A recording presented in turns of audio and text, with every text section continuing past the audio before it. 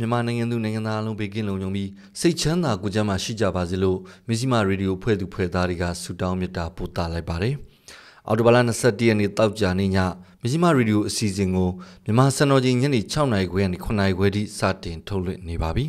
ဒီနေ့တင်ဆက်ပေးမယ့်အထဲမှာတော့ကော့ဂရိတ်မြို့နောက်ဆုံးရတိုက်ပွဲအခြေအနေနဲ့ကြိုက်ထူမြို့ကစီးပွားရေးလုပ်ငန်းရှင်9ဦးဖမ်းဆီးခံရတဲ့နောက်ဆုံးရပြည်တွင်းသတင်းတွေကိုနားဆင်ရမှာပါ။ အဲ့ဒါပြီးရင်တော့စိတ်ဝင်စားဖွယ်နိုင်ငံသားသတင်းတွေနဲ့အတူမဇ္ဈိမရေဒီယိုရဲ့သတင်းသုံးသက်ချက်နဲ့စီးပွားရေးသတင်းတွေကိုလည်းနားဆင်ရဖို့ရှိပါတယ်။အဲ့နောက်မှာတော့ဆက်သွယ်မီးမြန်းချက်အစီအစဉ်နဲ့တိုင်းသားတွေရဲ့အတန်ကိုစူးစီးတင်ဆက်ပေးနေတဲ့ BNN Radio အစီအစဉ်ကိုလည်းတင်ဆက်သွားဖို့ရှိပါတယ်ခင်ဗျာ။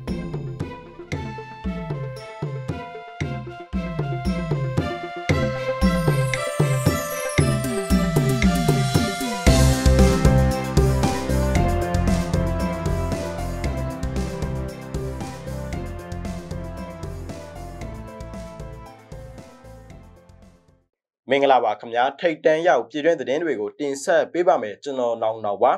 စကိုင်းတိုင်းကတာခရိုင်ဘန်းမောင်းမြို့နေမန်ယူကြီးကျေးရွာကဆေးရုံကိုအောက်တိုဘာလ20ရက်နေ့ည4နာရီဝန်းကျင်ကစစ်ကောင်စီတပ်ကတိုက်လေရင်တွေနဲ့ဘုံကျဲတိုက်ခိုက်လို့အမျိုးသမီးတယောက်သေဆုံးပြီးကလေး9ယောက်ကျော်ပြင်းပြင်းထန်ထန်ဒဏ်ရာတွေရသွားပါတယ်မန်ယူကြီးကျေးရွာကဒေသခံပြည်သူတွေကိုထူကိုထဖွင့်လှစ်ထားတဲ့ဆေးရုံမှာလှုပ်အားပေးတန့်ရှင်းရဲ့လုံနေတဲ့အချိန် တိုက်ပွဲဖြစ်တာမရှိဘဲစစ်ကောင်စီတပ်ကတိုက်လေရင်နဲ့ဘုံကျဲတိုက်ခိုက်ခဲ့တာဖြစ်တယ်လို့ဒေသခံတွေကပြောပါတယ်စစ်ကောင်စီတပ်ဖွဲ့ရဲ့လေကြောင်းတိုက်ခိုက်မှုကြောင့်အသက်53နှစ်အရွယ်ဒေါ်ခင်မာရှိုဟာပွဲရှင်းပြီးသေဆုံးသွားပါတယ်။တခြားထိခိုက်ဒဏ်ရာပြင်းထန်တဲ့ကလင်းငယ်တွေကိုလည်းနီးစပ်ရာကျေးရွာတွေကကျေးလက်ကျမ်းမာရေးဌာနတွေမှာဆေးကုသမှုခံယူနေရပါတယ်။အခုလိုတိုက်ပွဲဖြစ်တာမရှိဘဲဘုံကျဲတိုက်ခိုက်ခံခဲ့ရတဲ့မန်ယူကြီးကျေးရွာကဒေသခံတွေကတော့ ဘေးလွတ်ရာကိုထွက်ပြေးတိမ်းရှောင်နေရပြီးအဲဒီဒေသကိုဖုံးလိုက်တွေနဲ့ဖျက်တောက်ထားတယ်လို့သိရပါတယ်ခင်ဗျာ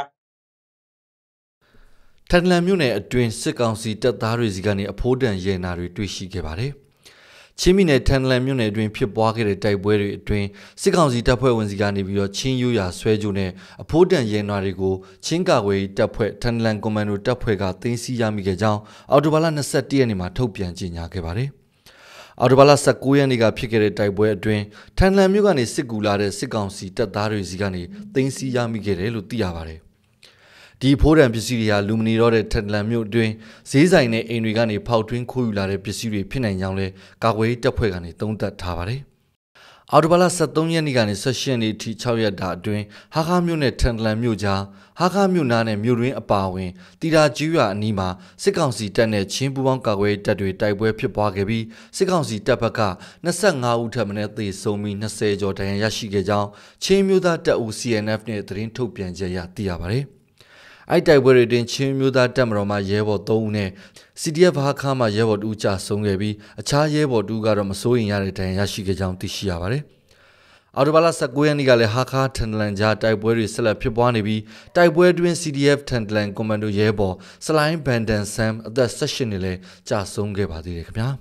။အခုတော့ရှမ်းပြည်နယ်ဘက်ကသတင်းတပုတ်နဲ့ဆက်ရှင်ပါတယ်။ရှမ်းပြည်နယ်မြောက်ပိုင်းမူဆယ်မြို့မှာအော်တိုဘာလ22ရက်မနက်အစောပိုင်းက တအန်းတပ်မတော် TNLA နဲ့ပြည်သူစစ်တပ်ဖွဲ့တို့တိုက်ပွဲဖြစ်ပွားခဲ့တယ်လို့ဒေသခံတွေကပြောပါတယ်။မနက်၄နာရီကျော်ကစတင်ပြီးမူဆယ်မြို့ခူးဝင်းရက်ကွက်နဲ့ဝင်းနှဲရွာတွေကပြည်သူစစ်တွေနေထိုင်တဲ့စခန်းနဲ့နေအိမ်တွေကို TNLA တပ်ဖွဲ့ကဝင်ရောက်ပစ်ခတ်တိုက်ခိုက်ခဲ့တာပါ။ပြည်သူစစ်နဲ့ TNLA တို့အကြားအပြန်အလှန်တိုက်ပွဲဖြစ်ပွားတဲ့အချိန်ဟာ2နာရီလောက်ရှိတယ်လို့ဆိုပါတယ်။အဲ့ဒီအပြန်အလှန်တိုက်ပွဲအတွင်းမှာ ပြည်သူစစ်ခေါင်းဆောင်တဦးသေဆုံးသွားတယ်လို့ဒေတာခန်တွေကပြောပါတယ်။ဒါပေမဲ့အဲ့ဒီသေဆုံးမှုအပေါ်မြင်းစီမားကတီးချအတီးပြုချက်ရယူနေဆဲဖြစ်ပါတယ်ခင်ဗျာ။ကြိုက်ထူမျိုးကစီးပွားရေးလုပ်ငန်းရှင်9ဦးဖမ်းဆီးခံရပါတယ်။မွန်ပြည်နယ်ကြိုက်ထူမျိုးကစီးပွားရေးလုပ်ငန်းရှင်9ဦးထပ်မံအော်တိုဘာလ20ရက်နေ့မနက်အစောပိုင်းကစစ်တပ်နဲ့ရဲရဲဖမ်းဆီးခြင်းကိုခံရကြောင်းသတင်းရရှိပါတယ်။ ဒီစီးပွားရေးလုပ်ငန်းရှင်တွေဟာ PDF တွေကိုထောက်ပံ့နေတယ်ဆိုပြီးရဲနဲ့စစ်တပ်ကလာရောက်ဖမ်းဆီးခဲ့တာပါတကယ်တော့အော်တိုဘာလ19ရက်နေ့ကစစ်တပ်ဝါဒဖြန့် Telegram Channel တစ်ခုဖြစ်တဲ့ Link နေဆိုတဲ့ channel ကနေပြီးတော့ PDF တွေကိုထောက်ပံ့နေတယ်ဆိုပြီးလူစင်းတွေတင်ပြီးနောက်တရက်ဖမ်းဆီးခံလိုက်ရတာဖြစ်ပါတယ်ဖမ်းဆီးခံသူ9ဦးတကအမျိုးသားဦးကိုစစ်ကြောရေးစီခေါ်ဆောင်သွားပြီးအမျိုးသမီး3ဦးကိုတော့ကြိုက်ထူမြို့နယ်ရဲစခန်းမှာချုပ်နှောင်ထားတယ်လို့သိရပါတယ် ပြီးခဲ့တဲ့2021ခုနှစ်အတွင်းကဦးမြသိန်းဖုံးဆိုင်မှဦးလင်းထွတ်ဇွဲရနာရွှေဆိုင်ပိုင်ရှင်ဦးမင်းစော Fast Yoyoli Company ပိုင်ရှင်ဦးနေထက်သိန်းနိုင်ကြိုက်ထိုလူမှုကူညီရေးအသင်းဥက္ကဋ္ဌဦးစိုးတီဟာရွှေဆိုင်ပိုင်ရှင်အမျိုးသမီးတူလျှက်စစ်ပစ္စည်းဆိုင်ပိုင်ရှင်တူတို့ဟာစစ်ကောင်စီရဲ့ဖမ်းဆီးခြင်းကိုခံရမှုတယ်လို့သိရပါတယ်။အဲ့လုပ်ငန်းရှင်တွေကအနည်းဆုံးကျပ်သိန်း300ပေးမှစစ်ကောင်စီကပြန်လွတ်ခဲ့တာပါ။ ကြိုက်ထုံမြို့နယ်မှာတော့အာနာသိမ့်ပြီးနောက်ပိုင်းမြို့ရဲအဲစင်းစစ်ချင်းလူငယ်တွေကိုဖမ်းဆီးခြင်းဈေးဆိုင်တွေကိုဖျက်ဆီးခြင်းစီးပွားရေးလုပ်ငန်းရှင်တွေကိုဖမ်းဆီးခြင်းတို့ကိုမကြာခဏလှုပ်ဆောင်လျက်ရှိနေတာပဲဖြစ်ပါတယ်။ဒီပကတင်သွင်းတဲ့ဆေးဝါးတွေထဲမှာပါရာစီတမောနဲ့ဂလူးကို့စ်အပါအဝင်ဆေးဝါး18မျိုးကိုအခွန်ကင်းလွှတ်ခွင့်ပြုလိုက်တယ်လို့စစ်ကောင်စီလက်အောက်ခံအကောက်အခွန်ဦးစီးဌာန MACCS ဌာနခွဲကအောက်တိုဘာလ19ရက်နေ့မှာသတင်းထုတ်ပြန်ပါတယ်။ အကောက်ခွန်ဦးစီးဌာနဟာအခွန်နှုံးတွေကိုအော်တိုဘာလ18ရက်နေ့မှာပြောင်းလဲကျင့်သုံးခဲ့ပြီးနောက်အဲဒီလိုစေဝါ18မျိုးကိုအခွန်ကင်းလွှတ်ခွင့်ပြုလိုက်တာပါဒီလိုအခွန်ကင်းလွှတ်ခွင့်ရလို့ဆေးတွေဈေးကျနိုင်တယ်လို့လည်းစေးဆိုင်ပိုင်ရှင်တဦးကပြောပါတယ်ခင်ဗျာအင်းစိန်ထောင်ပောက်ကွဲမှုကနေသေဆုံးသွားတဲ့ကိုဂျိမ်းမြရဲ့မိခင်ရုပ်လောင်းကြည်စုတုတ်တံမှာတကြိုလိုက်ပါတယ် ရန်ကုန်တိုင်းအင်းစိန်မြို့နယ်အင်းစိန်ထောင်ဝင်ဝရှိထောင်ဝင်စာဌာနပောက်ကွဲမှုတွင်စုံမသွားတဲ့ဗမာနိုင်ငံလုံးဆိုင်ရာចောင်းသားသမဂအဖွဲ့ချုပ်ဘာကတဗဟိုကော်မတီဝင်ဟောင်းကိုဂျိမ်းခလင်းထက်နိုင်ရဲ့မိခင်ဒေါ်ကြီးမြင့်ခအမေကြီးရဲ့နာရီအခမ်းအနားကိုအော်တိုဘာလ21ရက်နေ့မနက်ကဒဂုံစကမ်းမြို့နယ်ကြည်စုတုတ်တံမှာပြုလုပ်ခဲ့ပါတယ်။ ဘာကသာကျောင်းသားဟောင်းကိုဂျိမ်းစ်ဟာဇွန်လ18ရက်နေ့ကစစ်ကောင်စီတပ်တွေဖမ်းဆီးခြင်းခံခဲ့ရပြီးလက်ရှိအချိန်မှာ905ကာကြီး2မှု90ညတို့နဲ့အင်းစိန်ထောင်မှာအမှုရင်ဆိုင်နေရပါတယ်။အဲ့လိုအမှုရင်ဆိုင်နေရတဲ့သားဖြစ်သူစီကိုအမေကြီးကအော်တိုဘလ19ရက်နေ့မှာထောင်ဝင်စာသွားပို့ခြင်းပောက်ကွဲမှုတွေနဲ့ကြုံခဲ့ရပြီးတေဆုံးသွားခဲ့ရခြင်းဖြစ်ပါတယ်။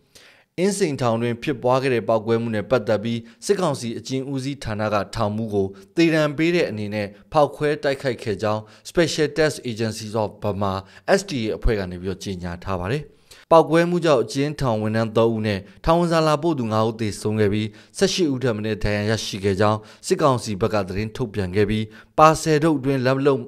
ပါဆယ်တို့အတွင်းလက်လုံမိုင်းထက်ကဖောက်ခွဲတိုက်ခိုက်ခဲ့တာလို့သိရပါတယ်။ ပောက်ကွဲမှုတွင်စစ်ကောင်စီဘက်မှတံပြန်ပစ်ခတ်မှုကြောင့်တေဆုံးသူတွေရှိနေပေမဲ့လည်းပောက်ကွဲမှုကြောင့်လူပနေယောက်တေဆုံးပြီးပစ်ခတ်မှုကြောင့်ဘလောက်တေဆုံးနေဆိုတာကိုတော့မသိရသေးပါဘူးခင်ဗျာအခုတော့နောက်ဆုံးရနိုင်ငံတကာသတင်းတွေကိုကိုຫນွေဦးမောင်ကတင်ဆက်ပေးပါမယ်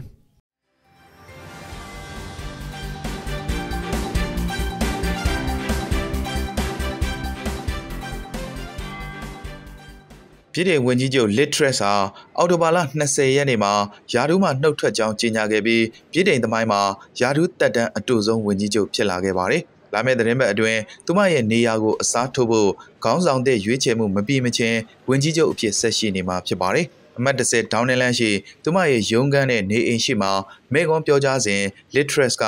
conservative ခေါင်းဆောင်အဖြစ်အရွေးခံစဉ်ကဂတိကဝတ်များကိုမတီးနိုင်တော့ကြောင်းဝန်ခံခဲ့ပါတယ်။ အခြေအနေတွေကိုသုံးသပ်ရရင် Conservative Party ကရွေးကောက်တင်မြှောက်ပြီးအနှင်းထားတဲ့လုပ်ပိုင်ခွင့်ကိုကျမအသုံးချနိုင်စွမ်းမရှိကြောင်းဝန်ခံပါတယ်။ဒါကြောင့် Conservative ခေါင်းဆောင်အဖြစ်ကနေနှုတ်ထွက်တော့မယ့်အကြောင်းဘရင်မင်းမြတ်ကိုတွေ့ဆုံအကြောင်းကြားခဲ့ပြီးပါပြီလို့၎င်းကဆိုပါတယ်။ဒီမနေ့က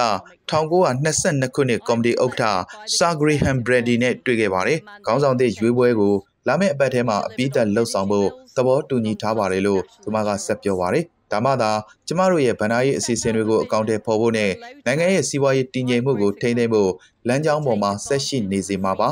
စက္ကန့်သူရွေးချယ်မပြီးမချင်းကျမဝင်ကြီးချုပ်အဖြစ်ဆက်ရှိနေမှာပါလို့သူမကထပ်လောင်းပြောကြားခဲ့ပါတယ် Mistress ဟာပြည်ထိုင်သမိုင်းမှာတက်တန်းအတူဆုံးဝင်ကြီးချုပ်ဖြစ်လာပြီးရခင်ကစံချိန်တင်ထားတဲ့ Jock Cannon ရဲ့ယာဒူးတက်တန်း119ရက်စံချိန်ကိုချိုးသွားခဲ့ပါတယ်။ သူမရဲ့အမတ်အများပြားကသူမအားနှုတ်ထွက်ရန်တောင်းဆိုမှုတွေမြင့်တက်နေချိန်တောက်ကြနေ့အစောပိုင်းကပါတီတာဝန်ရှိသူတွေဟာဒေါင်းနင်းလန်းမှာစုဝေးခဲ့ကြတာဖြစ်ကြောင်းသိရှိရပါတယ်။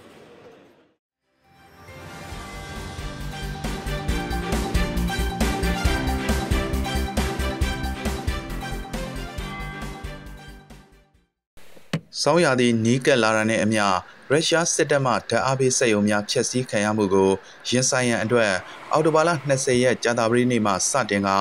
လျှက်စစ်ဓာတ်အားသုံးစွဲမှုကိုတင်းတင်းကြပ်ကြပ်ချိုးချံချွေတာရန်ယူကရိန်းအစိုးရကဒေသခံတွေကိုတောင်းဆိုထားပါတယ်။ ယူကရိန်းသမ္မတဗိုလိုဒီမာဇီလန်စကီကမော်စကိုမှသိမ်းပိုက်ထားသောခါစတန်ဒေသမှာအရက်သားများကိုအစုလိုက်အပြုံလိုက်နှင်လွတ်နေကြောင်းကီယက်အစိုးရကဆွဆွဲထားပြီးစောင်းရာသီမှာတွေးကြုံလာနိုင်တဲ့အခြေအနေအလုံးအတွက်ပြင်ဆင်နေကြောင်းစွမ်းရင်ကုမ္ပဏီများနဲ့တွေ့ဆုံမှုအပြီးမှာကြော်ကြားခဲ့ပါတယ်။ ရုရှားသမ္မတဗလာဒီမီယာပူတင်ဟာမကြသေးမီကကီယက်အပါအဝင်ယူကရိန်းနိုင်ငံအနှံ့ပြားမှာဘုံမိုးရွာချခဲ့ပြီးနောက်ယူကရိန်းစီကနေတိမ့်ပိုက်ထားတဲ့နေမြေလေးခုမှာဗိုလ်ရူးနေကစတင်ပြီးစစ်အုပ်ချုပ်ရေးအမိန့်ထုတ်လိုက်ပါတယ်ဇယ်လန်စကီကရုရှားအကြမ်းဖက်မှုတွေဟာစွမ်းအင်ဆိုင်ရာစက်ရုံများကိုဥတီလိမ့်မယ်လို့သတိပေးခဲ့ပြီးဂျာတာဝရီနေ့မနက်9နာရီမှစတင်ကလျှက်စစ်တပ်အားကိုချွေတာသုံးစွဲရန်နိုင်ငံကိုတိုက်တွန်းခဲ့ပါတယ်။အစိုးရဟာ မြို့ကြီးများနဲ့ကြေးရွာများမှာအရေးကြီးတဲ့အခြေခံအဆောက်အဦများအတွက်ရွေလျားဓာတ်အားပံ့ပိုးရေးစနစ်တွေဖော်ဆောင်ရန်လိုအပ်နေကြောင်း၎င်းကထပ်လောင်းပြောကြားခဲ့ပါတယ်။ KM မြို့တော်ဝင်ဗီတာလီခရစ်ကိုကမြို့တော်အတွင်းနေထိုင်သူများအားဓာတ်အားသုံးစွဲမှုများတဲ့လျှက်စစ်ပစ္စည်းများမဖွင့်ရန်တောင်းဆိုခဲ့ပြီးနေအိမ်တစ်ခုစီကနေအနှဲငယ်စီချွေတာခြင်းအပြင်အမျိုးသားစွမ်းအင်စနစ်ရဲ့လေပတ်မှုကိုတည်ငြိမ်စေဖို့အထောက်အကူဖြစ်စေလိမ့်မယ်လို့ပြောကြားခဲ့ပါတယ်။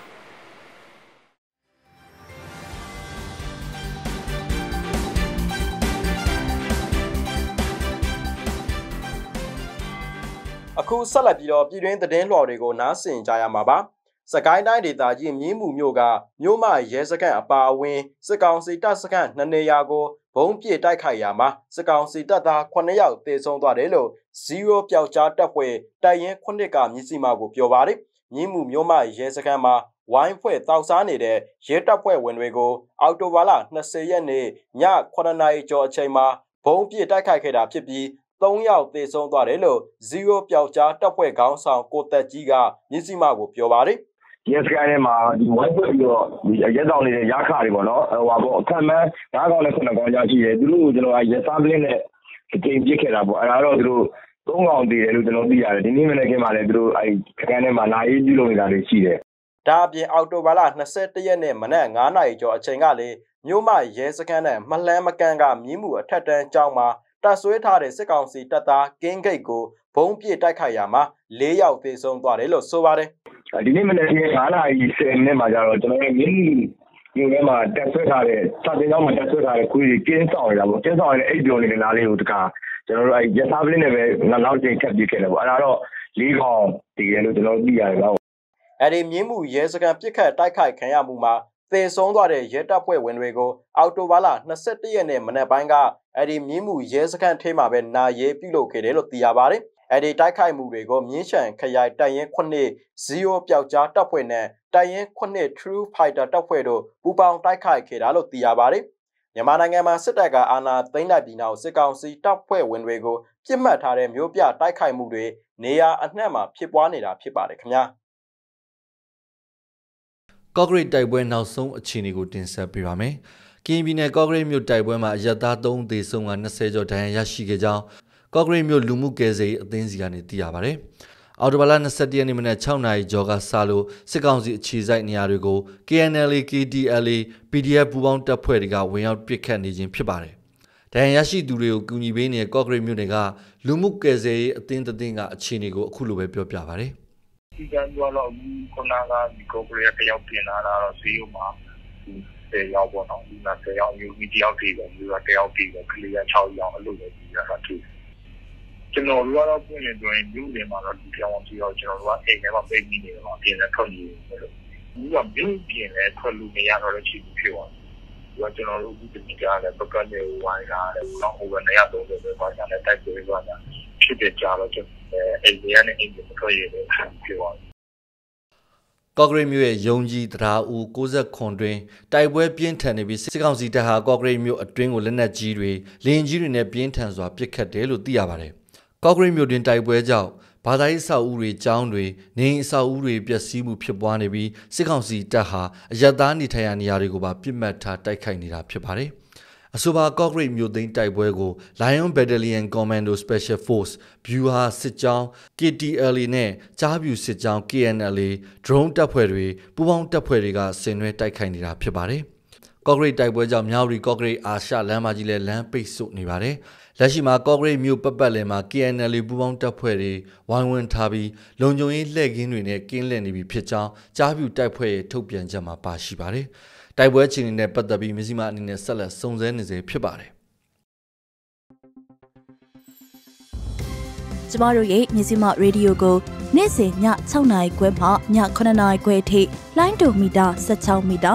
စက္ကွန်တသမခွန်3 MHz ကနေပြီးတော့ဖမ်းယူနားဆင်နိုင်ပါပြီ။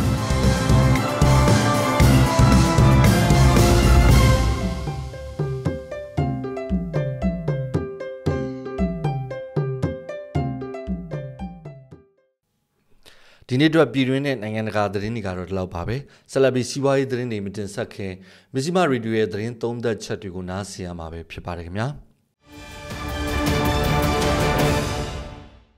အင်းစိန်ထောင်ဘုံပောက်ကွေမှုဖြစ်ပွားပြီးတဲ့နောက်ပိုင်းမှာတနိုင်ငံလုံးကအကျဉ်းထောင်တွေကိုထောင်ဝင်စာပါစေရန်အကတ်တမရှိပိတ်ပင်မှုတွေလုပ်လိုက်ပါတယ်စစ်ကောင်စီဟာထောင်နဲ့ပတ်သက်လို့တစုံတရာဖြစ်ပေါ်လာရင်အရင်ဆုံးအကျဉ်းထောင်တွေကနိုင်ငံရေးအကျဉ်းသားတွေကိုဖိနှိပ်ရှုပ်ရှည်တာ နှိပ်ကွက်တာကန့်သတ်မှုတွေတင်းကျပ်မှုတွေပိုလုံးတက်တာကလုံရောလုံးစင်ဖြစ်ပါတယ်။ငကိုကလေးကမှအစားအသောက်အနေအထိုင်ဆင်းရဲတဲ့အကျဉ်းသားတွေဟာအင်္ဂါပို့တဲ့အစားအသောက်ဆေးဝါးတွေကမရတော့ရင်ပိုပြီးဒုက္ခရောက်ဖို့ရှိပါတယ်။အင်းစင်ထောင်ကပေးတဲ့မနက်စာထမင်းကြော်ဒါမှမဟုတ်ဘာအရသာမှမပါတဲ့စံပြုံးရေကျဲဖြစ်ပါတယ်။ထမင်းကြော်ဆိုတာကနှနှွင်းဝါဝါနဲ့စံချမ်းထမင်းလှော်ဖြစ်ပါတယ်။ အဲ့ဒီထမင်းလှော်ဒါမှမဟုတ်စံပြုတ်ရေကျဲကိုအိမ်တွေကပို့ထားတဲ့အကျော်အလှော်လေးတွေနဲ့ဝေမျှစားတောက်ကြရတာဖြစ်ပါတယ်။အဲဒီလိုမှမစားနိုင်တဲ့သူတွေကတော့အိမ်ကပို့ထားတဲ့မုံချောက်လေးတွေနဲ့ကော်ဖီကိုအားကိုရတာဖြစ်ပါတယ်။နေ့လယ်စာကိုမနက်9နာရီလောက်မှလာဝေတာဖြစ်ပါတယ်။နေ့လယ်စာအတွက်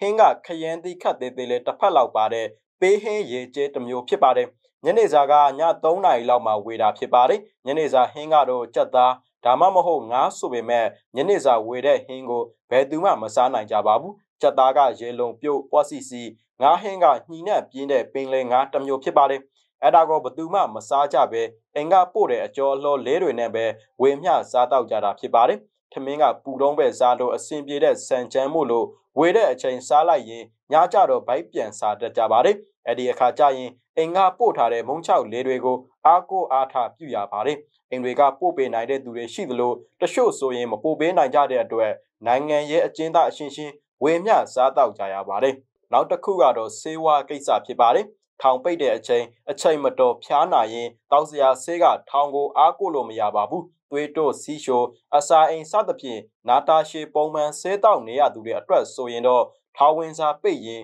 သူတို့ကျမ်းမာရေးအတွက်စိုးရိမ်စရာကောင်းသွားပါပြီ။ပေါ်ပြီးအရေးကြီးတာတစ်ခုကတော့အမျိုးသမီးလားစင်သုံးပစ္စည်းဖြစ်ပါတယ်။နိုင်ငံရဲ့အကျဉ်းသူတွေအတွက်မရှိမဖြစ်အဲ့ဒီပစ္စည်းတွေကိုလည်းအိမ်ကပုံမှန်ပို့ပေးရတာဖြစ်ပါတယ်။ဈေးဘားကနေတဆင့်ဝယ်ယူလို့ရပေမဲ့ဒါလည်းအိမ်တွေကငွေထည့်ပေးထားမှဝယ်သုံးနိုင်မှာဖြစ်ပါတယ်။ဒါတွေကအင်းစိန်ထောင်ကပြန်လဲလွတ်မြောက်ခဲ့တဲ့နိုင်ငံရဲ့အကျဉ်းသူတဦးကပြောပြတာဖြစ်ပါတယ်။ အခုဆိုရင်ဘုံပေါက်ကွဲထားတဲ့အင်းစိန်ထောင်မှာအမိန့်မချရသေးတဲ့နိုင်ငံရဲ့အကျဉ်းသားတွေကိုရုံထွက်ခွင့်လေးပိတ်ပင်ထားတာတေချာတလောက်ဖြစ်နေတဲ့အတွက်နှစ်ပတ်တစ်ခါရှင်းနေကတဆင့်အိမ်နဲ့အဆက်အသွေးလည်းပြတ်တောက်နေကြမှာဖြစ်ပါတယ်။ပြင်ပနဲ့အဆက်အသွေးပြတ်တောက်လေထောင်တွင်ဖိနှိပ်မှုတွေကလည်းနိုင်ငံရဲ့အကျဉ်းသားတွေအပေါ်မှာပုံမဆိုးရလာလေဖြစ်နေမှာအသေးချာပါပဲ မြင်းချံအကျဉ်းထောင်ကိုထောင်အသီးသီးကပြောင်းလာတဲ့နိုင်ငံရဲ့အကျဉ်းသားတွေကိုအလုတ်ကျန်းစေခိုင်းမှုတွေအကြောင်းမဲ့ရိုက်နှက်မှုတွေလုပ်နေတယ်ဆိုတော့သတင်းတပုတ်လည်းဒီနေ့တက်လာပါလေနိုင်ငံရဲ့အကျဉ်းသားတွေကုညီစောင့်ရှောက်ရဲ့အသင်းရဲ့အဆိုအရ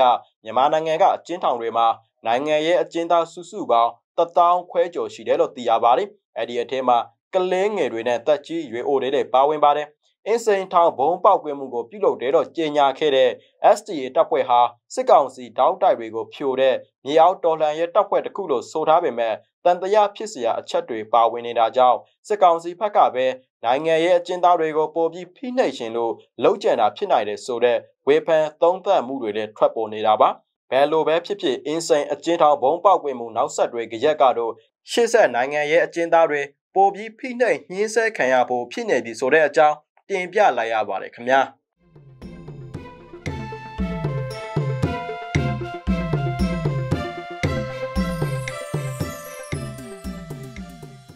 အခုဆက်လက်ပြီးစီးပွားရေးသတင်းတွေကိုဆက်လက်နားဆင်ရမှာဖြစ်ပါတယ်မတ်ရွှေကြီးကပြောပြပေးသွားမှာပါ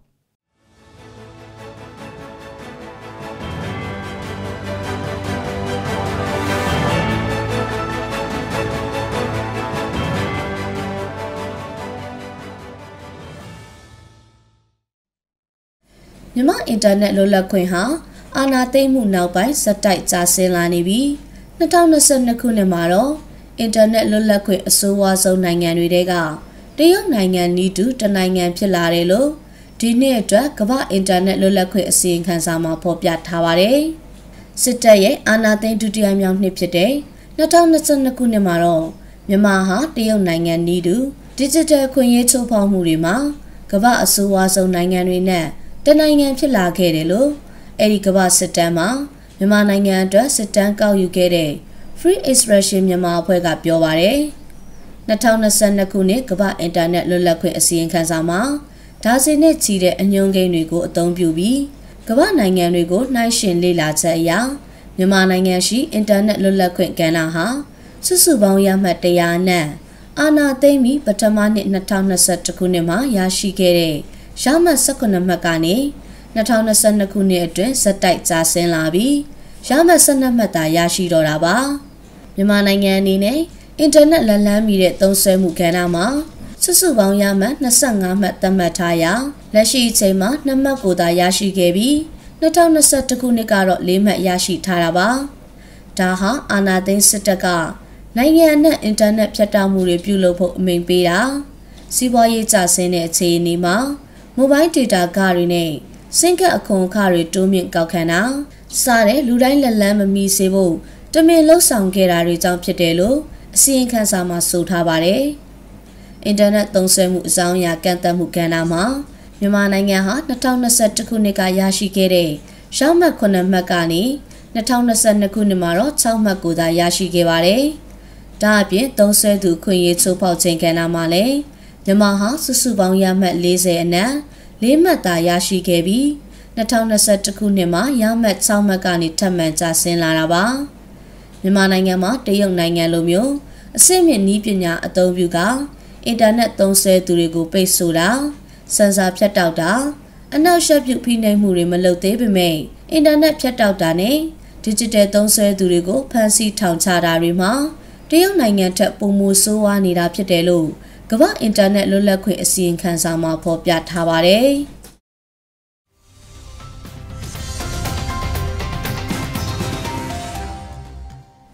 မလေးရှားနိုင်ငံကခိုလုံခွင့်တောင်းခံခဲ့တဲ့ရေတက်အရာရှိဟောင်းတွေပါဝင်မြန်မာနိုင်ငံသား150ကိုဒီလာအတွင်းနေရက်ပြန်ပို့ခဲ့ရာနှင်ထုတ်ခံရသူတွေအနေနဲ့မြန်မာနိုင်ငံမှာဖမ်းဆီးခံရနိုင်တဲ့အန္တရာယ်ရှိနေတယ်လို့သတင်းရင်းမြစ်တွေကပြောပါတယ်။ စစ်တပ်ကနိုဘယ်ဆုရှင်ဒေါ်ဆန်းစုကြည်ဦးဆောင်တဲ့ရွေးကောက်ခံအစိုးရကိုဖြုတ်ချကအတိုက်ခံတွေပေါ်ဖြိုခွင်းမှုကြောင့်မလေးရှားနိုင်ငံကမြန်မာနိုင်ငံကအကြမ်းဖက်မှုတွေကိုရှုတ်ချနေလင်းကစားမြန်မာနိုင်ငံသားတွေကိုနေရက်ပြန်ပို့ခဲ့တာဖြစ်ပါတယ်။မလေးရှားအာဏာပိုင်တွေကပြီးခဲ့တဲ့လအတွင်း CDM ရတက်အရာရှိဟောင်း6ဦးကိုဖမ်းဆီးကအော်တိုဘာလ6ရက်နေ့မှာမြန်မာနိုင်ငံသို့လေယာဉ်နဲ့ပြန်ပို့ခဲ့တာဖြစ်တယ်လို့သတင်းရင်းမြစ်တွေကပြောပါတယ်။ ရစ်တက်အရာရှိဟောင်းတဦးဖြစ်သူဦးကျော်လာနဲ့ဇနီးဖြစ်သူဒေါ်တေတေလှတို့မှာရန်ကုန်ပြည်ပြည်ဆိုင်ရာလေဆိပ်သို့ပြန်ရောက်ချိန်မှာထိမ့်သိမ့်ခံခဲ့ရတယ်လို့အဆိုပါသတင်းရင်းမြစ်တွေကဆိုပါတယ်။ရစ်တက်အရာရှိဟောင်းနဲ့ဇနီးတဲ့တို့ဟာမလေးရှားနိုင်ငံမှာနေထိုင်ဖို့တရားဝင်စာရွက်စာတမ်းတွေမရှိတာကြောင့်နေရပြန်ပို့ခံရတာဖြစ်တယ်လို့ဆိုပါတယ်။ရေတက်အရာရှိဟောင်း၃ဦးနဲ့ဇနီးသည်တို့ဟာကုလသမဂ္ဂဒုက္ခသည်များအေဂျင်စီရဲ့အကာအကွယ်ရဖို့ကြိုးပမ်းက ဒုက္ခသည်အဖြစ်ရှောက်ထားခဲ့တယ်လို့သိရပါဗျ။မလေးရှားနိုင်ငံအနေနဲ့အခုလိုမျိုးအန္တရာယ်ရှိနိုင်တဲ့သူတွေကိုမြန်မာနိုင်ငံအတွင်းပြန်လည်ပို့ဆောင်မှုကိုအမြန်ဆုံးရပ်တန့်ဖို့အတွက်တိုက်တွန်းလိုပါတယ်။မလေးရှားနိုင်ငံရဲ့ဝင်ကြီးဌာနတစ်ခုအနေနဲ့မြန်မာနိုင်ငံရေးတွေကိုစိတ်ဝင်စားစွာနဲ့လှုပ်ဆောင်နေပြီးအာဆီယံအနေနဲ့ဆရာနာရှင်စန့်ကျင်ရေးလုပ်ငန်းတွေမှာပုံမလှုပ်ဆောင်မှုတိုက်တွန်းနေတဲ့ကာလအတွင်းမှာတခြားဝင်ကြီးဌာနတစ်ခုက လူသားချင်းစာနာထောက်ထားမှုအကူအညီတွေမရှိဘဲနဲ့ပြန်လည်ပို့ဆောင်ခြင်းဟာမဖြစ်သင့်တာတွေဖြစ်တယ်လို့အမျိုးသားညီညွတ်ရေးအစိုးရ NUG ရဲ့လူ့ခွင့်ရေးဝန်ကြီးဦးအောင်မျိုးမင်းကပြောကြားထားပါတယ်။မလေးရှားအာဏာပိုင်တွေနဲ့ပူးပေါင်းဆောင်ရွက်ခါအော်တိုဘာလ6ရက်နေ့မှာမြန်မာနိုင်ငံသား150ကိုလေရင်နဲ့နေရက်ပြန်ပို့ခဲ့တယ်လို့မလေးရှားနိုင်ငံရှိ စစ်ကောင်စီရဲ့မြန်မာတန်ယုံက Facebook Page မှာရေးသားဖော်ပြထားပါတယ်။မလေးရှားနိုင်ငံရှိကုလသမဂ္ဂဒုက္ခသည်များဆိုင်ရာမဟာမင်းကြီးယုံ UNHCR ကနှင်ထုတ်ခံထားရသူတွေကကိုလုံခွင့်တောင်းခံထားခြင်းရှိမရှိမပြောကြားခဲ့ပေမဲ့နေရပြန်ပို့ခံရသူများအတွက်စိုးရိမ်မိတယ်လို့ဆိုပါတယ်။မလေးရှားနိုင်ငံမှလူတွေသာမကမြန်မာနိုင်ငံမှထွက်ပြေးလာသူတွေကိုလည်းကိုလုံခွင့်ပြုရမှာဖြစ်တယ်လို့ကာကွယ်ပေးရမှာဖြစ်တယ်လို့ UNHCR ကထုတ်ပြန်ချက်တစ်ခုအတွင်းပြောကြားထားပါတယ်။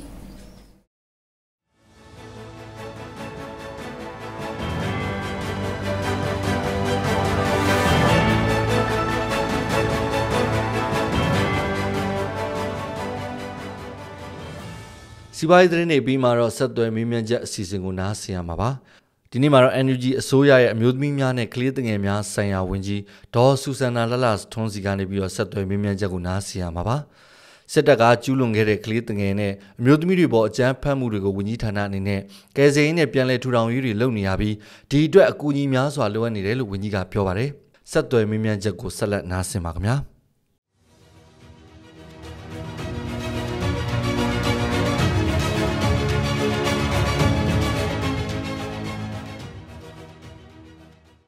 ຫນွေဦးတော်လန်ကြီးဟာစစ်အာဏာရှင်စနစ်ကိုအပိသက်တိုက်ဖြတ်မဲ့ရည်ရွယ်ချက်နဲ့ပြည်သူတရက်လုံးပါဝင်နေကြတဲ့တော်လန်ကြီးကြီးပါမိမိတို့ယုံကြည်ချက်အပေါ်အခြေခံပြီးအစုအဖွဲ့အလိုက်ဖြစ်စီတဦးချင်းစီဖြစ်စီတော်လန်ရေးထဲမှာဆွန့်ဆွန့်ဆာဆာပါဝင်နေကြသလိုဒီတော်လန်ရေးနဲ့ပတ်သက်ပြီးသူတို့ရဲ့အတွေ့အမြင်တွေအကြံပြုချက်တွေကိုပြောပြချင်ကြပါတယ်နှွေဥတော်လန်ရေးမှာနိုင်ငံရေးအရာဥဆောင်မှုပေးရတာဟာမလွယ်ကူပဲအခက်အခဲတွေအများကြီးနဲ့ဥဆောင်ကြရတာပါ နှစ်ပေါင်းများစွာပြည်တွင်းစစ်မီးတောက်လောင်နေတဲ့ကျမတို့နိုင်ငံမှာတော်လှန်သူတွေအနေနဲ့စစ်တမ်းသင့်လူအဖွဲ့အစည်းမှာနောက်မျိုးဆက်တွေရင်ဆိုင်ရမယ့်အနာဂတ်အတွက်ကြိုတင်တွေးဆပြီးပြင်ဆင်မှုတွေတပါးလေးလှုပ်ဆောင်နေကြရပါတယ်ဒီကနေ့ဒေါ်လာရေးကြီးမှာကြာရနေရကပါဝင်နေကြသူတိုင်းရဲ့အမြင်သဘောထားတွေအကြံပြုချက်တွေကိုဖော်ထုတ်နိုင်ဖို့ အားလုံးအတွက်မနှက်ပြန်ဆိုတဲ့ဒီအစီအစဉ်ကိုတင်ဆက်ပေးသွားမှာဖြစ်ပြီးဒီအစီအစဉ်မှာအမျိုးသမီးနိုင်ငံရေးသမားတွေအမျိုးသမီးတက်ကြွလှုပ်ရှားသူတွေလိင်သဘောထားခံယူမှုကွဲပြားသူတွေမတန်ဆွမ်းအစုအဖွဲ့တွေဘာသာမတူလူမျိုးမတူသူအစုအဖွဲ့တွေနဲ့တတိပုဂ္ဂလပါဝင်သူတွေစသဖြင့်အလှည့်ကျပါဝင်သွားကြမှာဖြစ်ပါတယ်။ ဒီကနေ့မှာတော့ဝန်ကြီးနော်ဆူဇနာလှလှဆိုကိုဖိတ်ခေါ်ထားပါတယ်။ဝန်ကြီးနော်ဆူဇနာလှလှဆိုဟာ2015ခုနှစ်အထွေထွေရွေးကောက်ပွဲမှာအနိုင်ရရှိခဲ့ပြီးအမျိုးသားလွှတ်တော်ကိုယ်စားလှယ်အဖြစ်တာဝန်ယူခဲ့မှုသလို2020အထွေထွေရွေးကောက်ပွဲမှာလည်းရန်ကုန်တိုင်းကရင်တိုင်းရင်းသားရေးရာဝန်ကြီးအဖြစ်ရွေးကောက်ခံခဲ့သူဖြစ်ကလက်ရှိမှာတော့ NUG ရဲ့အမျိုးသမီးနဲ့ကလေးတငယ်များဆိုင်ရာဝန်ကြီးဌာနရဲ့ဝန်ကြီးတဦးအဖြစ်တာဝန်ထမ်းဆောင်နေသူဖြစ်ပါတယ်ရှင်။ဟုတ်ကဲ့မင်္ဂလာပါဝန်ကြီးရှင်။မင်္ဂလာပါ ဟုတ်ကဲ့ဝန်ကြီးတို့အနေနဲ့ဒီတာဝန်ဝတ္တရားတွေများပြပြီးတော့အစအစအရာရာစိန်ခေါ်မှုတွေအခက်အခဲတွေနဲ့ပေါ့နော်ဒီလိုမျိုးတာဝန်ထမ်းဆောင်နေရတဲ့အချိန်ကြားထဲမှာအခုလိုမျိုး interview ကိုလက်ခံပေးလို့ကျေးဇူးတင်ကြောင်းအရင်ပြောချင်ပါတယ်ဟုတ်ကဲ့ဟုတ်ကဲ့ကျမတို့လည်းဖိတ်ကြားတဲ့အတွက်ကြောင့်ကျေးဇူးတင်ပါတယ်ဟုတ်ကဲ့ပါဝန်ကြီးဆိုတော့ကျွန်မဒီ interview ကိုပေါ့နော်ပပပပအမေးဖြေနေပဲအရင်ဆုံးစလိုက်ချင်ပါတယ်ဆိုတော့ တကယ်ဆိုလို့ရှိရင်2020အထွေထွေရွေးကောက်ပွဲမှာဝန်ကြီးအနေနဲ့ရန်ကုန်တိုင်းကရင်တိုင်းရင်းသားရေးရာဝန်ကြီးအဖြစ်နဲ့ရွေးကောက်ခံနေတာပေါ့ဆိုတော့အကယ်၍အာဏာသိမ်းတဲ့ဖြစ်စဉ်ကြီးတာမပေါ်လာခဲ့ရင်အခုချိန်မှာဝန်ကြီးအနေနဲ့ပေါ့ရန်ကုန်တိုင်းကကရင်လူမျိုးတွေရဲ့ဘယ်လိုအကျိုးတွေကိုဆောင်ရွက်နေတဲ့အချိန်ဖြစ်မလဲဒါနဲ့ပတ်သက်ပြီးတော့ပေါ့နော်အရင်ကဒီစိတ်ကူးပုံဖော်ခဲ့တဲ့အလုပ်တွေနဲ့ပတ်သက်ပြီးတော့ပြောပြပေးစီချင်ပါတယ်ရှင်ဟုတ်ကဲ့ဟုတ်ကဲ့အာ အာကြိုတင်ပြီးတော့ဟိုစိတ်ကူးထားတာ plan ချထားတာတွေကတော့အများကြီးပေါ့နော်ကျမတို့ရဲ့ဒီရန်ကုန်တိုင်းမှာရှိတဲ့ကရင်လူမျိုးတွေရဲ့ဟိုအခြေခံအခွင့်အရေးပေါ့နော်ယဉ်ကျေးမှုအခွင့်အရေးတွေနော်နောက်ပြီးတော့လူအခွင့်အရေးတွေအဲ့ဒါတွေရရှိသွားအောင်အာဆောင်ရွက်ဖို့ရယ်နောက်ပြီးတော့ဒီဟိုစားပေါ့နော်ဒီကရင်တမျိုးသားလုံးစစ်စစ်လုံးလုံးအာဖြစ်ဖြစ်စေမဲ့အာဖြစ်စေမဲ့ ဟိုရင်းပေါ့ event တွေပေါ့နော်ဒီ event တွေ campaign တွေနော်စသည်ဖြင့်ပေါ့နော်အဲ့ဒါတွေလုပ်ဖို့လည်းအာ plan ထဲမှာရှိပါတယ်နောက်ပြီးတော့ဟိုဒီတိုင်းသားရေးရာဝင်ကြီးဌာန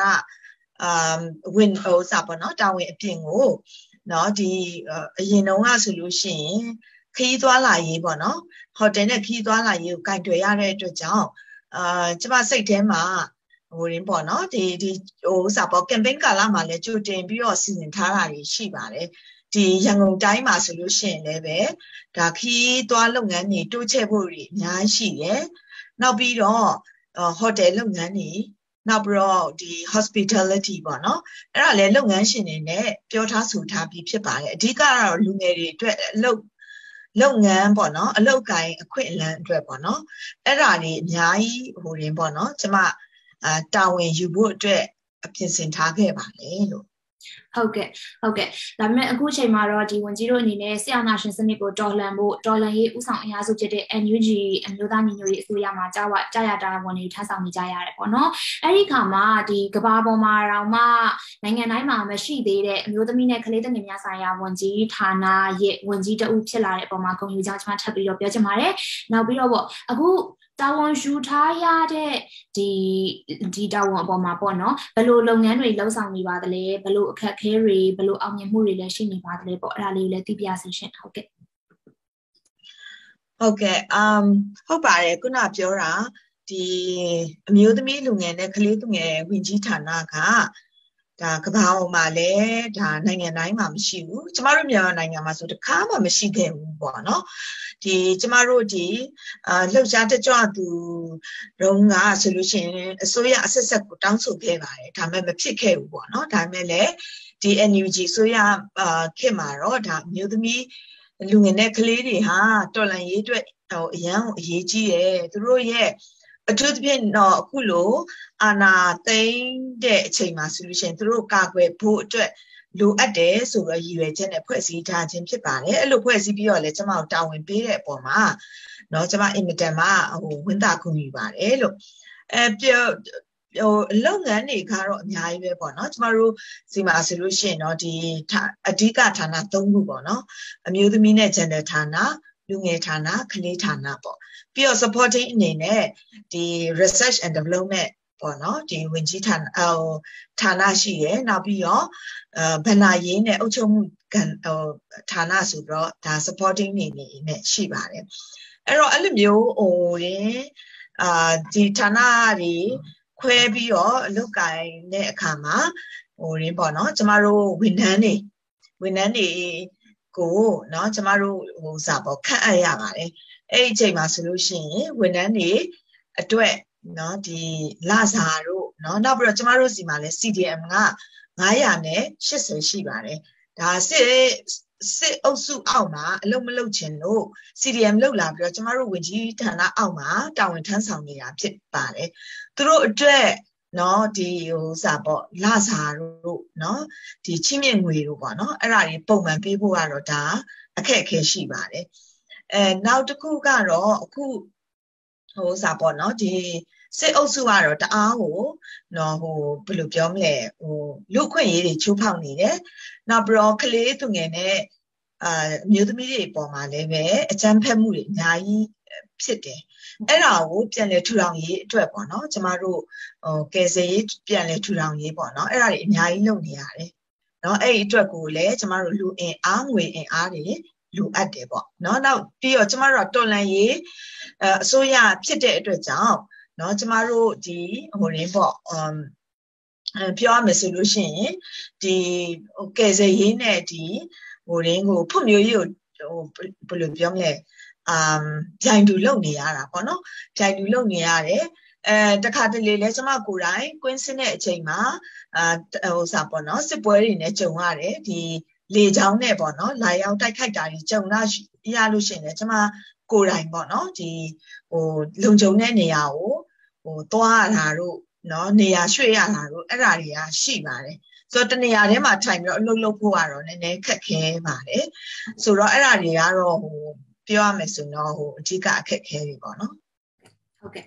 ဆိုတော့ဒီဝန်ကြီးအနေနဲ့ပေါ့ကရင်တိုင်းရင်သူတဦးဖြစ်တဲ့အပြင်ကိုဒီအမျိုးသမီးအရေးကျမဒန်းတူရေးလုပ်ငန်းစဉ်တွေမှာလည်းတထဲဝင်ဝင်ပါဝင်လှုပ်ဆောင်ခဲ့ပုသူတဦးဖြစ်တာဆိုတော့ပေါ့နော်ကျမတို့မြန်မာနိုင်ငံမှာရှိတဲ့ Federal အရေးကျမဒန်းတူရေးအပေါ်မှာပေါ့ဟိုဘယ်လိုခံယူချက်တွေရှိပါသလဲဒါနဲ့ပတ်သက်တဲ့ဟိုဒီဝန်ကြီးရဲ့ကိုယ်ပိုင်အမြင်ကိုယ်ပိုင်ခံယူချက်ကိုလည်းသိချင်ပါတယ်ရှင်ဟုတ်ကဲ့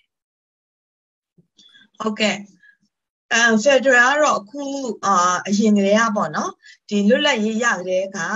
ကျမတို့အားလုံးမျှော်လင့်တောင်းတခဲ့တဲ့အရာဖြစ်ပါတယ်အဲ့ဒါကိုလူတစုကနေပြီးတော့အာနာရှင်တစုကနေပြီးတော့လက်ဝကြီးအုပ်ပြီးတော့တပါတီအာနာရှင်စနစ်စစ်အာနာရှင်စနစ်เนาะနောက်ပြီးတော့ဟိုတူဒီအာနာရှင်စနစ်စသဖြင့်အစင်းစင်းတည်ထောင်သွားတဲ့အခါမှာအဲ့ဒါကိုအခြေခံရပိုင်ခွင့်ကိုရရှိဖို့အတွက် เนาะဒီအာတိုင်းသားပြည်သူတွေအားလုံးကလက်နဲ့ဆွဲကင်ပြီးတော့เนาะဒီရိုးရိုးညှိနှိုင်းလို့မရတဲ့အခါမှာဖိနှိုင်းမှုအများများလာတဲ့အခါမှာလက်နဲ့ဆွဲကင်ပြီးတော့တော်လန်ခဲ့တာဆိုအနှစ်80ကျော်ခဲ့ပါပြီ။န နော်ပြောရမယ်ဆိုရင်တော့အင်မတန်မှထိုက်တန်ပါတယ်ကျမတို့တိုင်းသားပြည်သူတွေကလေထိုက်တန်တယ်နော်ကဘာပေါ်မှာလည်းပဲတိုင်းသားတွေအများကြီးနဲ့နော်ဒီညီညွတ်စွာ နေပြီးတော့မှ Federal ပြည်အောင်စုတည်တည်ထောင်နေရလေးလည်းအများကြီးရှိပါတယ်သို့တော့နော်လောဘကြီးတဲ့နော်နောက်ပြီးတော့အာနာရှင်ဆန်တဲ့လူတွေကနေပြီးတော့ဒါဟိုစားပေါ့နော်ဒီတိုင်းပြည်ရဲ့အနာဂတ်ကိုရိုက်ချိုးဖျက်ဆီးပြီးတော့အစင်စစ်ပေါ့နော်တခစ်ပြီးတခစ်အဲ့လိုမျိုးလက်ပြောင်းယူပြီးတော့လှုပ်ခဲ့တာယနေ့ထက်တိုင်ဖြစ်ပါတယ်เนาะအဲ့ဒါကြောင့်မလို့ အာကျမတို့ဒီ Federal ဆိုတာလူတူတယောက်ပေးမှရမှာမဟုတ်ဘူးကျမတို့အားလုံးစ조사တည်ဆောက်ရမယ်နော်စ조사တည်ဆောက်ရမယ်ကိုကျမကိုဖန်တီးရမယ်နော်ဘယ်သူမှဘယ်သူ့ကိုဗိုလ်ချအုပ်ချုပ်လို့မရဘူးနော်အဲဒါကတော့ Federal ရဲ့အခြေခံကြီးပဲဖြစ်ပါတယ်ဟုတ်ကဲ့ ဟုတ်ကဲ့ပါရှင်ဆိုတော့နိုင်ငံတွေမှာစစ်ပွဲတွေဖြစ်လို့ရှိရင်ပေါ့ပထမဦးဆုံးဒုက္ခဘေးအန္တရာယ်နဲ့အမှုတွေဒုတွေရင်ဆိုင်ကြရတာကအမျိုးသမီးနဲ့ကလေးသမီးတွေပေါ့လေဆိုတော့ပြည်ရင်းစစ်အနှစ်ရှည်ဖြစ်နေတဲ့ကျမတို့နိုင်ငံမှာတိုင်းရင်းသားဒေသကအမျိုးသမီးတွေကဒီလွန်ခဲ့တဲ့နှစ်ပေါင်းများစွာကလေးကစစ်တပ်ရဲ့လိင်အကြမ်းဖက်မှုတွေနဲ့ရင်ဆိုင်ကြုံတွေ့ခဲ့ရတယ်အခုချိန်မှာဆိုလို့ရှိရင်တော့တိုင်းရင်းသားဒေသတွေအပြင်ဗမာအပါဝင်လူမျိုးပေါင်းစုံနေထိုင်တဲ့ဒေသတွေအထိစစ်ပွဲတွေရောက်လာပြီဆိုတော့ဒီပေါ်မှာရော NUG အနေနဲ့ပေါ့စစ်ပွဲအတွင်းကအမျိုးသမီးနဲ့ကလေးငယ်တွေရဲ့ဒီလုံခြုံရေးအမျိုးသမီးငြိမ်းချမ်းရေးနဲ့လုံခြုံရေးလို့ခေါ်တဲ့ဒီ women peace and security ဆိုင်ရာလုပ်ငန်းစဉ်တွေအပေါ်မှာရောဘယ်လိုပြင်ဆင်ဆောင်ရွက်ထားတာတွေရှိပါသလဲရှင်ဟုတ်ကဲ့ဟုတ်ကဲ့အခုချိန်ကတော့ပြောရမယ်ဆိုတနိုင်ငံလုံးတိုင်းတာနဲ့ဟိုခံစားနေရတဲ့အချိန်ပေါ့နော်အရင်တော့ဆိုလို့ရှိရင်ဒါနေဆက်မှာဖြစ်တယ်တိုင်းသားနယ်မြေတွေမှာဖြစ်တယ်ပြီးမှလူတွေက တိတော့တိတယ်ပေါ့နော်ဒါပေမဲ့လည်းဟုတ်ပါမလားပေါ့ကျမဆိုလို့ရှိရင်လည်းကရင်လူမျိုးပဲသို့တော်လည်းကျမရန်ကုန်မှာအာကြီးလာတဲ့ကရင်လူမျိုးဖြစ်တဲ့အတွက်ကြောင့်ဒါကရင်ပြည်နယ်မှာဖြစ်တဲ့ဥစ္စာတွေကအာကျမသိရတယ်ပေါ့နော်ဒါပေမဲ့မျက်စိနဲ့မကြုံရဘူးပေါ့ဒါပေမဲ့အခုကျမတို့ဒီလိုမျိုးဟိုတော်လန်ရေးနောက်ပိုင်းမှာဆိုလို့ရှိရင်ကျမကိုယ်တိုင်တိုင်းရင်းသားတော်လန်ရေးနယ်မြေတွေရောက်တဲ့အခါမှာအော်တကယ်ကိုဟိုဒါတွေကဖြစ်နေပါလား ဖြစ်ခဲ့ပါလားအဲ့လိုပဲပေါ့နော်ဒီမကွေးတို့စကိုင်းတို့မှာရှိတဲ့ဗမာတွေလည်းပဲအခုချိန်မှာဆိုမြက်ဝါထင်နေတိလာပြီပေါ့နော်ဆိုတော့အဲ့အဲ့ဒါနဲ့ပတ်သက်ပြီးတော့ကျမတို့ကနော်ဒီ education ပေါ့ prevention အဲ့ဒီကြိုတင်ကာကွယ်ဖို့အတွက်ပညာပေးတွေသင်တန်းတွေလုပ်တယ်နော်လိမ်ပိုင်းဆိုင်ရာအကျန်းဖက်မှုအာခံရလို့ရှိရင်သတင်းပေးရမယ့်နေရာတွေနော်နောက်ပြီးတော့ ဒီမလိုလားအပ်တဲ့အကိုဝင်တွေရလို့ရမှာစုလို့အဲ contraceptive pills တွေနောက် condom တွေစသဖြင့်ပေါ့နော်အဲ့ဒါတွေကိုပတ်မိုးကူညီတယ်နောက်ပြီးတော့ရှေ့တန်းမှာလည်းပဲဟိုရင်းပေါ့မွေးဖွားလို့ရှိရင်အခက်အခဲဖြစ်မှာဆိုလို့ကျမတို့က maternity kits ပေါ့နော်ကလေးမွေးဖို့အတွက်ဒီလိုမျိုး package နဲ့ကျမတို့ပို့ပေးတာတွေရှိတယ်နောက်ပြီးတော့အမျိုးသမီးတွေဟိုပြင်းရင်လွှိုင်းနဲ့ဒါရာသီလာတဲ့အခါမှာအခက်အခဲဖြစ်မှာဆိုလို့ menstruation ဟိုစားပေါ့နော် menstruation pad တွေကျမတို့အာထောက်ပံ့ကူညီပေးတာရှိတယ်ဟိုလောက်တာတွေကတော့အများကြီးပါပဲနောက်ပြီးတော့ကျမတို့စီမှာအာသာချက်ကကျမတို့စီမှာလွတ်တော်အမတ်အာမျိုးသမီးအမတ်တွေရှိတယ်သူတို့စီကနေပြီးတော့အာဆက်သွယ်ဆောင်ရွက်တာတွေရှိသလိုနောက်ကျမတို့ဝင်ကြီးဌာနဖွဲ့စည်းထားတဲ့မြေပြင်အမျိုးသမီးကွန်ရက်တွေရှိတယ်နောက်ပြီးတော့ကျမတို့ရဲ့ CDM တွေရှိတယ်အတွက်ကြောင့်ကျမတို့အချိန်နဲ့တပြေးညီထိထိရောက်ရောက်ဆောင်ရွက်နိုင်ခဲ့ပါတယ်လို့ ဟုတ်ကဲ့ဟုတ်ကဲ့ဆိုတော့လက်ရှိဒီ2021နေဦးတော်လန်ရေးကြီးအောင်မြင်ဖို့ပေါ့နော်နောက်ပြီးရင်အောင်ပွဲရဖို့အတွက် NUG ရဲ့ဝင်ကြီးတဦးအဖြစ်နဲ့ပေါ့မြန်မာပြည်မှာဘလို့အခြေအနေတွေဖြစ်လာအောင်လို့လှုံ့ဆော်ကြရမယ်နောက်ပြီးရင်ဒီအောင်ပွဲကိုရောဘလို့မျိုးရယူနိုင်မယ်ဆိုတာမျိုးမျှော်လင့်မျှော်မှန်းထားတာရှိပါသလဲရှင်ဟုတ်ဟုတ်ကဲ့ဒီຫນွေဦးတော်လန်ရေးကတော့နိုင်မိုးနိုင်မယ်ပွဲဖြစ်ပါတယ်။ဒါလဲဆိုပြည်သူတရက်လုံးပါဝင်တယ်။နော်ဒီအားလုံးလဲစီစီလုံးလုံးနဲ့ ပေါ့နော်ဟိုပါဝင်တယ်အဲပြောရမယ်ဆိုလို့ရှိရင်တော့ဟိုလူများစုဖြစ်တဲ့ဗမာပေါ့နော်ဗမာလူမျိုးတွေကလည်းတက်တက်ကြွကြွပါဝင်တဲ့အတွက်ကြောင့်ဒါကျမတို့အတွက်ကတော့အားဖြစ်ပါတယ်နောက်ပြီးတော့တနိုင်ငံလုံးမှာတခါမှမကြုံဘူးတဲ့စီလုံးညီညွတ်မှုတွေနားလည်မှုတွေရှိလာတယ်နောက်ပြီးတော့အရင်တုန်းကဆိုလို့ရှိရင်အာကွဲပြားမှုလေးတွေရှိရပေါ့နော်အာဘာသာရေးအရာလူမျိုးရေးအရာဒါပေမဲ့အဲ့ဒါတွေက အဲမရှိတော့ဘူးပေါ့နော်လုံးဝပျောက်သွားတာတော့မဟုတ်ဘူးဒါပေမဲ့အဲ့လိုမျိုးပေါ့ဒီနားလည်မှုတွေတစုံတရာရှိလာတယ်နော်ဒီဟိုရင်းပေါ့ဒီရိုဟင်ဂျာတွေပေါ်မှာဟိုကျူးလွန်ခဲ့တာတွေကိုပြန်ပြီးတော့တောင်းပန်တာတို့နော်နောက်ပြီးတော့ဒီတိုင်းသားဒေသတွေမှာစစ်အုပ်စုကနေကျူးလွန်ခဲ့တဲ့နှစ်ဆက်ဆက်ကကျွလွန်တဲ့ဥစ္စာတွေကိုမသိတဲ့အတွက်ကြောင့်တောင်းပန်တာတို့ဒါတွေကရှိလာပြီနောက်ပြီးတော့ကျမတို့ LGBT အင်အားစုရဲ့ဥဆောင်မှုကိုလည်းလက်ခံအဲ လက်ခံနေပေါ့နော်လက်ခံနေ LGBT ရရှေ့တန်းမှာနော်ဒီဟိုအမှုဟိုစာအကြမ်းမဖက်တဲ့ဆန္ဒပြမှုတွေမှာဥဆောင်နေတဲ့အမျိုးသမီးတွေပေါ့နော်ဥဆောင်နေတဲ့ဒါရီယာဆိုလို့ရှိရင်ခေတ်ဆက်ဆက်ကကျမတို့စူးစမ်းနေတဲ့ဒတိုင်းကြီးတွေပေါ့အခုချိန်မှာပြိုကျပျက်စီးသွားပြီဖြစ်တယ်ကျမတို့ရဲ့အောင်နိုင်ရေးကလက်တကမ်းလိုမှာပဲရှိတယ်ကျမတို့စစ်စစ်လုံးလုံးနဲ့နော်အားဆိုင်လိုက်လို့ရှိရင်ကျမတို့အောင်မြင်မှာမဟုတ်ချပါပဲလို့ကျမပြောပြောလိုပါတယ် ဟုတ်ကဲ့ဟုတ်ကဲ့ပါရှင်ဆိုတော့ဒီနေ့ interview မှာနဲ့ပတ်သက်ပြီးတော့ဗောနော်ဝန်ကြီးအနေနဲ့ဖြည့်ဆွတ်ပြောချင်တာရှိရင်ပြောပြစီချင်ပါတယ်ဟုတ်ဟုတ်ကဲ့ကျမတို့ကဒီဟိုအာ freedom is not free ပေါ့နော်ကျမတို့က federal တို့တို့လွတ်လပ်မှုတို့နော်လူအခွင့်အရေးတို့အင်မတန်မှငြိမ်းချမ်းသာယာဝပြောတဲ့နိုင်ငံကြီးကိုလိုချင်တယ်သူများနိုင်ငံကသူများတိုင်းသူပြည်သားတွေ နေတယ်လို့နေချင်တယ်ဒါမဲ့ကျမတို့ပြည်သူတွေကတခါမှမနေခဲ့ရပါဘူးဒီစစ်ဝဲရဲ့အဲမှာပဲတဝဲလေလေဖြစ်နေတယ်เนาะဒီပြုပြင်ပြောင်းလဲရေးတွေကိုမျှော်လင့်ပေမဲ့เนาะဒီခေတ်ဆက်ဆက်မလုံနိုင်ခဲ့ဘူးပေါ့နော်ဒီစစ်တပ်ရဲ့အင်အားနဲ့ ဟိုမလှန်နိုင်ဘူးပေါ့နော်အခုချိန်မှာတော့တိုင်းသူပြည်သားတွေကအကုန်လုံးကမခံနိုင်တော့ဘူးเนาะဒါတွန်းလှန်မှဖြစ်မယ်ဆိုတာကိုလည်းเนาะယုံကြည်ချက်ရှိနဲ့လုပ်နေတဲ့အချိန်မှာ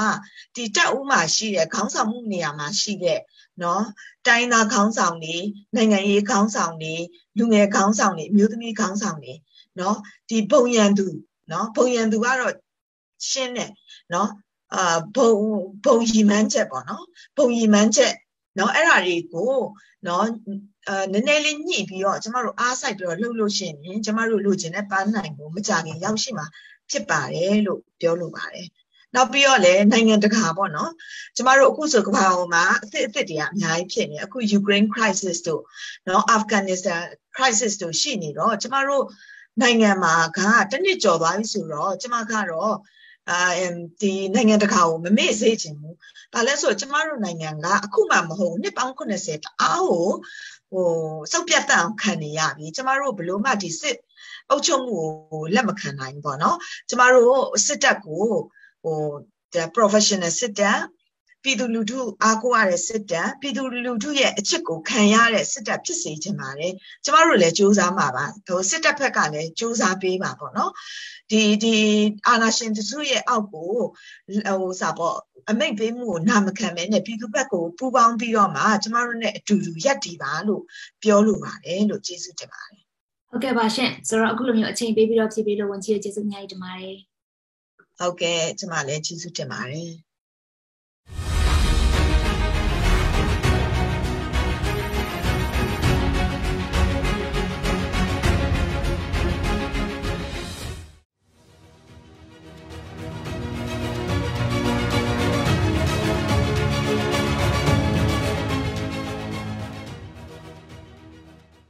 အခုဆက်ပြီး BNN ကစီစဉ်တင်ဆက်တဲ့တိုင်းရင်းသားဒေသတွေကသတင်းတွေတိုင်းရင်းသားတွေရဲ့အသံနဲ့အမြင်တွေကိုစူးစီးတင်ဆက်ထားတဲ့အစီအစဉ်ကိုနားဆင်ရမှာပါ။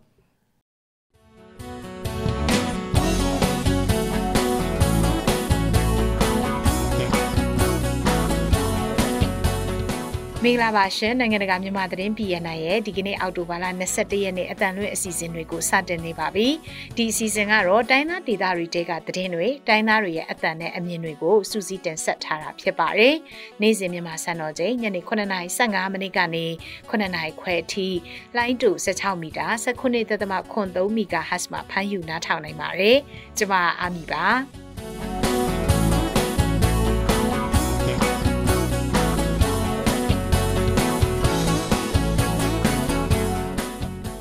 ဒီကနေ့သတင်းတွေထဲမှာတော့ KNL ပူးပေါင်းတပ်တွေနဲ့စစ်ကောင်စီတပ်တို့အကြားတိုက်ပွဲပြင်းထန်နေပြီးစစ်ကောင်စီကလေရင်6စီးလောက်နဲ့တိုက်ခိုက်နေပါတယ်။ချင်းပြည်နယ်ကံပက်လက်မှာတော့မြို့ရင်းတိုက်ပွဲတွေဖြစ်ပွားခဲ့ပါတယ်။တသတင်းလွှာတွေထဲမှာတော့အာနာသိမ့်ပြတဲ့နောက်ပိုင်းအခြေအနေတွေကအမျိုးသမီးတွေလူကုန်ကူးမှုရဲ့တားကောင်ဖြစ်အောင်ဘလို့တွန်းပို့နေပါသလဲချင်းပြည်နယ်ဟာခါမှာစစ်ကောင်စီရဲ့လက်နက်ကြီးကြီးကြောင့်ကလေးငယ်တွေတေဆုံးခဲ့ရတဲ့အကြောင်းသတင်းပေးပို့ချက်နဲ့ပအိုးအမျိုးသားဖက်ဒရယ်ကောင်စီနဲ့ NUG တို့ပူးပေါင်းဖွင့်လှစ်တဲ့ online စာသင်ကျောင်းမှာကျောင်းသားတွေရဲ့ကိုရေးအချက်လက်လုံခြုံရေးအတွက်ဘလို့စီစဉ်ထားသလဲဆိုတာတွေကိုတင်ဆက်ပေးထားပါတယ်အခုတော့သတင်းတွေကိုကျမနဲ့အတူစိုင်းမွန်းကနေတင်ဆက်သွားမှာပါ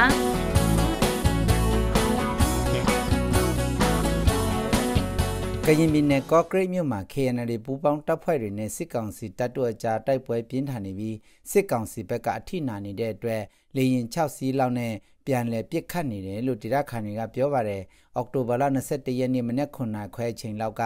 ကရင်မျိုးသားလူမျိုးရေးတပ်မတော် KNL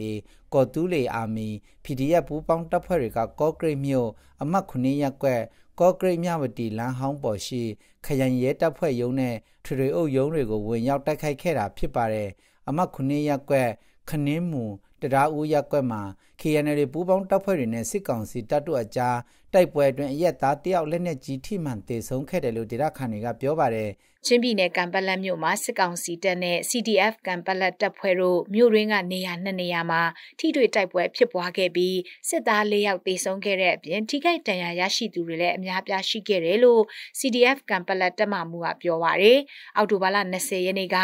နှစ်ဖက်ကြားတိုက်ပွဲဖြစ်ပွားခဲ့ပြီးစစ်ကောင်စီတပ်ဖွဲ့တွေတပ်ဆွဲထားတဲ့ပညာရေးမှုယုံနဲ့ထွေအုပ်ယုံနေရာတွေကို CDF ကံပလက်တပ်ဖွဲ့တွေကဝင်ရောက်ပစ်ခတ်ခဲ့ကြတာဖြစ်တယ်လို့ပြောပါရယ်တိုက်ပွဲအတွင်းအထိနာခဲ့တဲ့စစ်ကောင်စီတပ်ဖွဲ့တွေဘက်ကကံပလက်မြို့အတွင်းနဲ့အနီးနားကျေးရွာတွေတဲ့အထိလက်နက်ကြီးကြီးတွေနဲ့ဒရက်ဆက်ပစ်ခတ်မှုတွေပြုလုပ်ခဲ့တာကြောင့်လူနေအိမ်တွေထိခိုက်မှုရှိနိုင်တယ်လို့ CDF ကံပလက်တပ်မမှုကပြောပါတယ်ရခိုင်ပြည်နယ်နဲ့ချင်းပြည်နယ်တောင်ပိုင်းမှာစစ်ကောင်စီတပ်နဲ့ရခိုင်တပ်တော်ရေးတို့ကြားတကြော့ပြန်တိုက်ပွဲတွေကြောင့် နေရစွန့်ခွာထွက်ပြေးနေရတဲ့စစ်ပေးရှောင်ဒုက္ခတွေတောင်6000ကျော်ထပ်တိုးလာတယ်လို့ UNOCHA ကအောက်တိုဘာလ19ရက်နေ့မှာထုတ်ပြန်လိုက်ပါတယ်ကုလသမဂ္ဂလူသားချင်းစာနာမှုဆိုင်ရာညှိနှိုင်းရေးယုံ UNOCHA ရဲ့ထုတ်ပြန်ချက်အရအရင်ရှိပြီးသားနေရစွန့်ခွာသူတွေနဲ့လက်ရှိစီရေးပဋိပက္ခတွေကြောင့်ထွက်ပြေးနေရတဲ့စစ်ပေးရှောင်ဒုက္ခတွေစုစုပေါင်း9000ကျော်အထိရှိလာတယ်လို့ဆိုထားပါတယ်။ ဒါပြင်ရခိုင်ပြည်နယ်ထဲစစ်ကောင်စီနဲ့ရခိုင်တပ်တော်ရေးတို့ကြားတိုက်ပွဲတွေဆက်လက်ဖြစ်ပွားနေတဲ့အတွက်နေရစွန့်ခွာထွက်ပြေးနေရသူတွေရဲ့လူသားချင်းစာနာထောက်ထားမှုဆိုင်ရာလိုအပ်ချက်အသစ်တွေရှိနေတယ်လို့ထုတ်ပြန်ချက်မှာပါရှိပါတယ်ကချင်ပြည်နယ်ရွှေကူမြို့နယ်ရေလဲကျေးရွာမှာတော့ကလေးငယ်တွေကောက်ယူလာတဲ့မိုင်းတလုံးမတော်တဆပောက်ကွဲမှုဖြစ်ပွားခဲ့ပြီးလူငယ်တယောက်သေးတယောက်ဒဏ်ရာအပြင်းထန်ရရှိခဲ့တယ်လို့ဒေသခံတွေကပြောပါရယ်။အောက်တိုဘာလ19ရက်နေ့မနက်ပိုင်းကရေလဲကျေးရွာအပြင်ဘက်မှာစစ်တပ်ကထောင်ထားတဲ့မိုင်းလို့ယူဆရတဲ့မိုင်းတလုံးကိုကလေးငယ်တွေကောက်ယူလာရကနေအဲ့ဒီမိုင်းကိုလူငယ်2ယောက်ကသိမ်းပေးလိုက်ပြီးနောက်ညအချိန်မှာပောက်ကွဲမှုဖြစ်ပွားခဲ့တာလို့ဒေသခံတယောက်ကပြောပါရယ်။နားဆင်ခဲ့ရတာကတော့ BNI Radio ရဲ့နေ့စဉ်သတင်းအစီအစဉ်ပဲဖြစ်ပါတယ်။ဒီအစီအစဉ်ကိုတော့နေ့စဉ်မြန်မာစံတော်ချိန်ည9:15မိနစ်ကနေ9:00ခွဲအထိ15မိနစ်ကြာထုတ်လွှင့်သွားမှာဖြစ်ပါတယ်။ ဆက်ပြီးတော့သတင်းလွှာတွေကိုတင်ဆက်ပေးသွားမှာပါစစ်တပ်ကအာဏာသိမ်းပြီးတဲ့နောက်ပိုင်းနိုင်ငံတော်ဝန်မှာစီးပွားရေးကျဆင်းပြီးအလုတ်ကန်ရှားပါလာတဲ့အချိန်ပွဲစားတွေကမြန်မာမျိုးသမီးငယ်တွေကိုလူကုန်ကူးဖို့အဓိကပြစ်မှတ်ထားလှုံ့ဆော်လာတယ်လို့အမျိုးသမီးအရေးဆောင်ရွက်နေသူတွေနဲ့လူခွင့်ရေးလှုပ်ရှားသူတွေကတတိပေးလိုက်ပါတယ်တန်လွင် time သတင်းဌာနကမတ်ချီလီကစူးစီးတင်ဆက်ပေးထားပါတယ်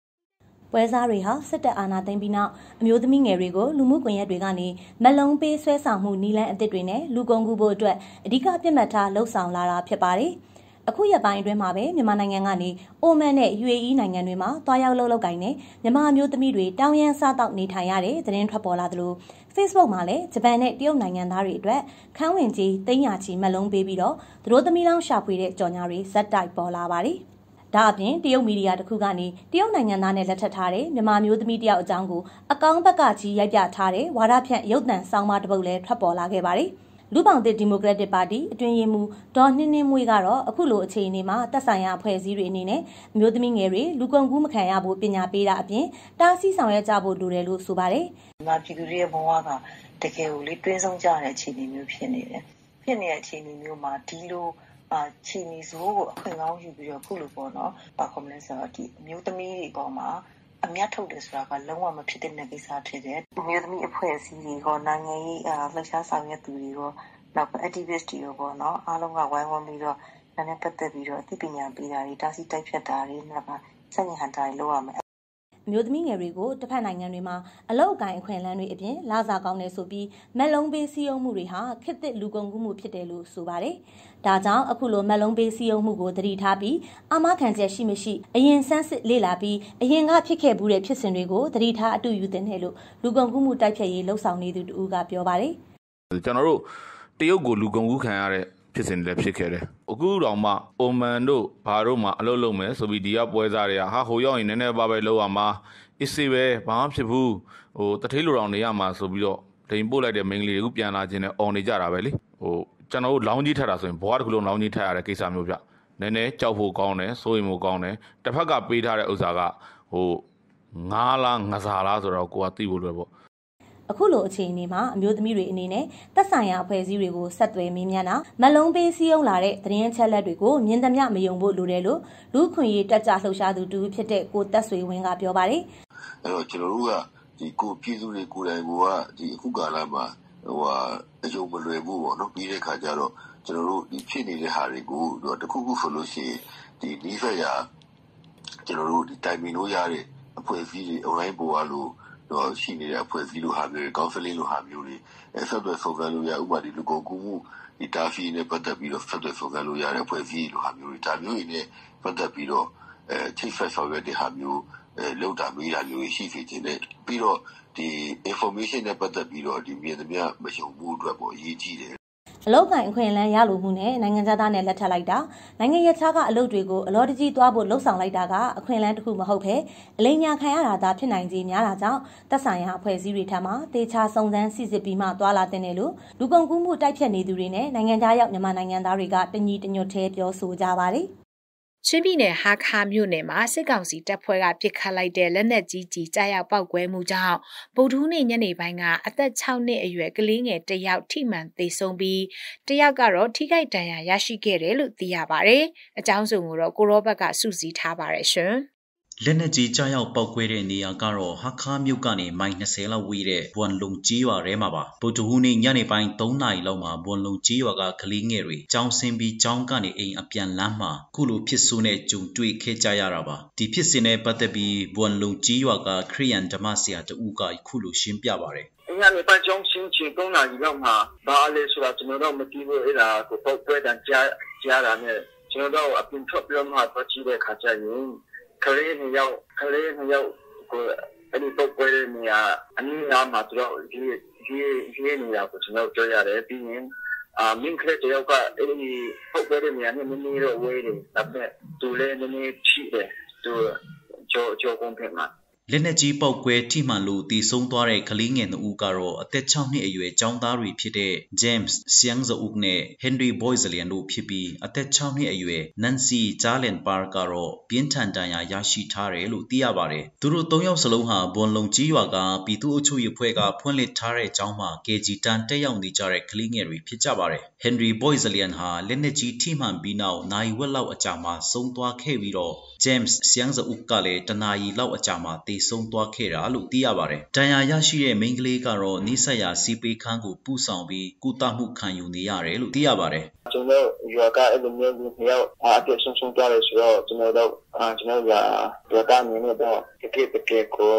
ဝန်နေတယ်အဲ့ဒါကိုပြချင်တယ် လက်နက်ကြီးကြောင့်တေဆုံးသွားတဲ့ကလေးငယ်နှစ်ဦးရဲ့ရုပ်အလောင်းကိုတော့ယနေ့မနေ့ပိုင်းကခရီးယန်ထုံးတန်းစင်လာအရမေမြုပ်တကြူခဲ့ကြပါတယ်။ယခုဖြစ်စဉ်နဲ့ပတ်သက်ပြီးချင်းလူခွင့်ရဖွဲ့ကတာဝန်ရှိသူတူဖြစ်တဲ့စလိုက်တေရာကတော့ယခုလိုပြောဆိုပါတယ်။ဆိုရင်အဲ့ဒါပြစ်မဲ့တီတူဒီကအခုလိုမျိုးလက်နက်ကြီးကြောင့်ပဲဖြစ်ဖြစ်အခြားလက်နက်နဲ့ပဲဖြစ်ဖြစ်အလိုထိခိုက်တာ ပြည်သူတွေကိုနဲ့ပြည်သူတွေကိုထိခိုက်တာတော့အဲ့ဒါလုံးဝမဖြစ်ဖြစ်လဲရပဲလို့စစ်တိုက်တာတော့တိုက်ကြပေါ့တိုက်ကြပါစေပေါ့ဒါပေမဲ့ဖြစ်နိုင်လို့ချင်းပြည်သူနဲ့အထိကမရှိအောင်စစ်နေတင်မှာပဲတိုက်ကြပါဒါပေမဲ့ခုဆိုရင်စစ်တပ်တွေကသူတို့ကြိုက်တဲ့နေရာပါရန်တမ်းပြီးတော့တကယ်ဆိုရင်အဲ့ဒါဆိုးရွားတဲ့အဖြစ်ပြပဲလူရဲ့အသက်ကိုသူတို့ကတန်ဖိုးထားပြီးပေါ့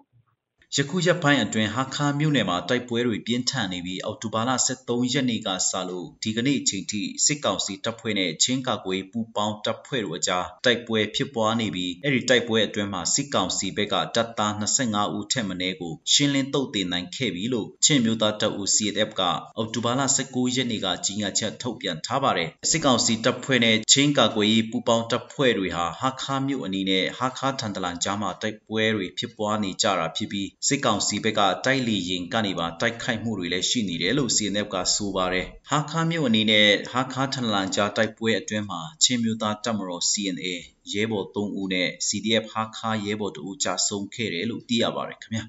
ပို့အမျိုးသားဖက်ဒရယ်ကောင်စီ PNFC နဲ့အမျိုးသားညီညွတ်ရေးအစိုးရ NUG တို့ရဲ့ပညာရေးဝန်ကြီးဌာန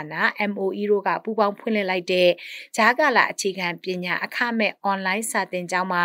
ဤပညာပိုင်းလုံခြုံမှုရှိစေဖို့တင်းကျပ်စွာစီစစ်ဆောင်ရွက်ထားတယ်လို့တာဝန်ရှိသူတွေကပြောပါတယ်။ဘလို့ပုံစံမျိုးစီစစ်ဆောင်ရွက်နေလဲဒီကျောင်းမှာဘသူတွေကကျောင်းတက်လို့ရပါသလဲအသေးစိတ်ကိုတော့သတင်းနဲ့မီဒီယာကွန်ရဲ့သတင်းဌာနကကိုစောပွေးရတင်ဆက်ပေးထားပါတယ်ရှင်။ စာသင်ကြားတဲ့အခါမှာအွန်လိုင်းလုံခြုံရေးကြိုးပမ်းမှုမရှိစေရေးအတွက်ဆရာဆရာမတွေနဲ့ကျောင်းသူကျောင်းသားတွေရဲ့နာမည်ရင်းတွေ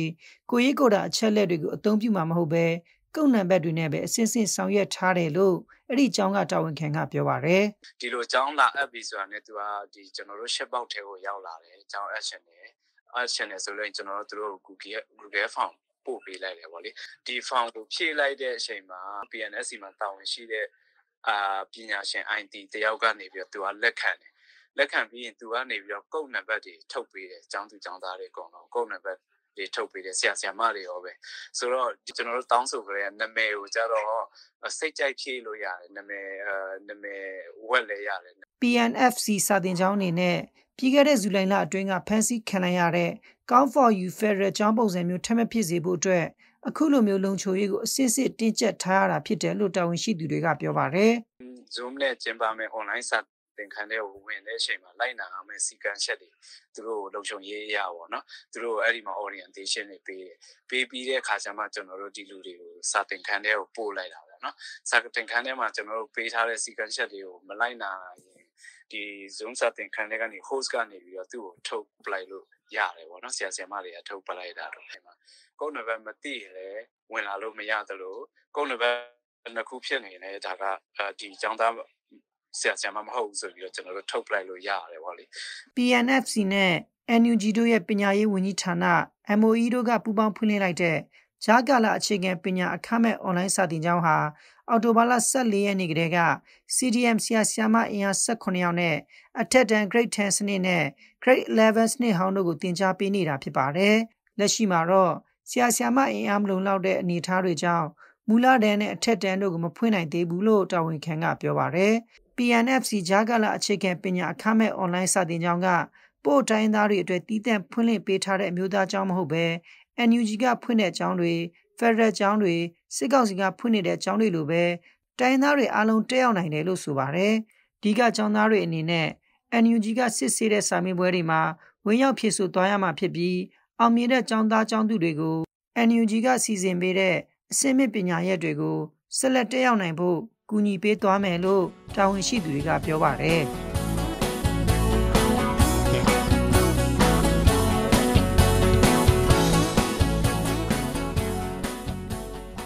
အခုနားဆင်ခဲ့ရတာကတော့ BNI Radio ရဲ့နေ့စဉ်သတင်းအစီအစဉ်ပဲဖြစ်ပါတယ်။ဒီအစီအစဉ်ကိုတော့နေ့စဉ်မြန်မာစံတော်ချိန်ည9:15မိနစ်ကနေ 9:00နာရီခွဲအထိ15မိနစ်ကြာထုတ်လွှင့်သွားမှာဖြစ်ပါတယ်။နားဆင်ပေးကြတဲ့အတွက်ကျေးဇူးတင်ပါတယ်ရှင်။